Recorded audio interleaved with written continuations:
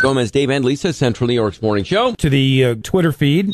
Brent tweets, I only eat whole foods, like a whole bucket of KFC chicken. Central New York's morning show. I think I ate the bones. I ate the bones. Settle down. I ate the bones.